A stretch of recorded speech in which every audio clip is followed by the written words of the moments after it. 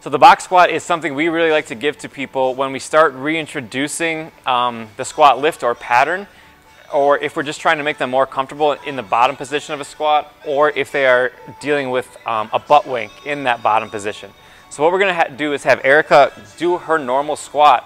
and what we'll see is when she's in the bottom, she does have a slight butt wink, and basically what we mean by that is a posterior tilt in the bottom position of a squat.